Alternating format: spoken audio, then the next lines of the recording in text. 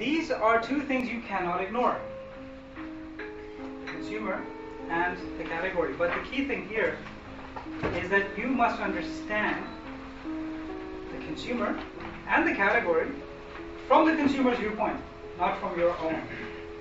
Because that, as we, as we discussed earlier, is fairly surefire way to, I don't want to call it disaster, but it can lead you down the wrong path. As far as the consumer is concerned, there are two things that the consumer looks at. One is, who are you competing with? Okay? This is the competitive context. And the second thing is, who are you competing for?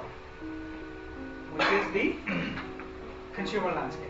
Now, these are two distinct questions that you must answer.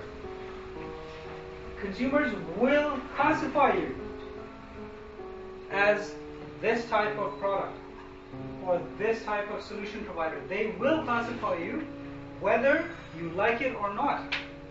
So you must manage that process. You have to you have to define who exactly it is that you are competing with. A classic example: Apple decided to define the category as themselves and everyone else.